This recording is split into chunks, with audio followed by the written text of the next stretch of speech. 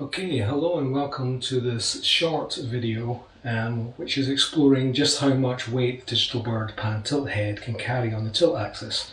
I've had some uh, questions online uh, regarding this. There are some people out there who want to move uh, Blackmagic cinema cameras and even a few Reds and they want to know how much the, the, the tilt can handle.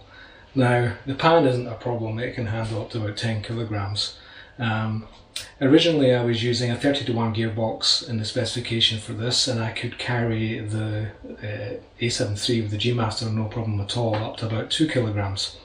So we're about to test it with a much heavier load. Now I don't happen to own a Blackmagic or a Red Epic um, but I have something much better. I have the Beast.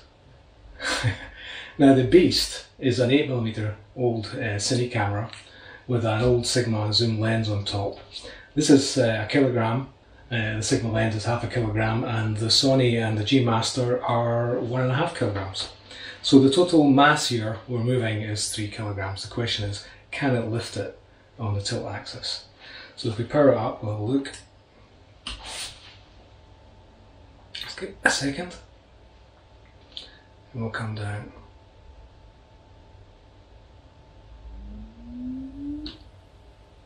Going down's the easy part.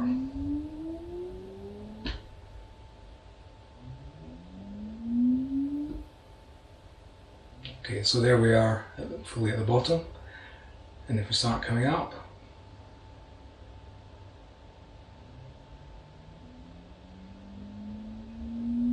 there we go, easily lifts the three kilograms. Now that's equivalent spec probably to the um, Rhino. Now I know the Rhino says it can carry up to 15 pounds, but if you read the instructions, that's not 15 pounds to the full 180 degrees.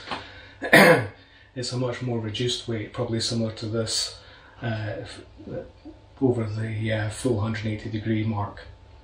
So we'll just test that. Take the little digital bird remote here and we can set a new out point.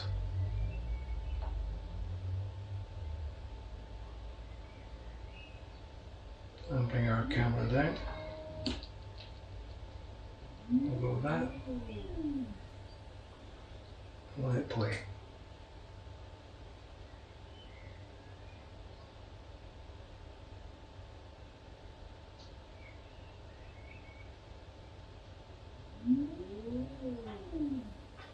So there we go, the system does work with heavier weight and nobody's happier than me. Um, it has thrown up one problem with the system. Um, the heavier weights put a much bigger strain on this piece, piece here and the, the bearing that, that sits inside the base of the system here. So I would recommend that you beef up the amount of fill on the base of this to more securely hold that bearing.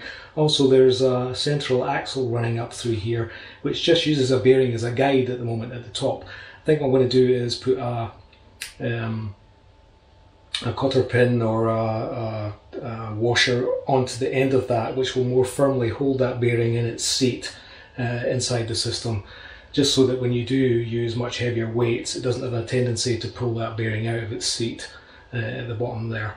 And if you saw any hesitancy there it wasn't happening here it was happening down here at the at the base. Okay I hope that satisfies some of the questions and uh, look forward to the next one. Bye now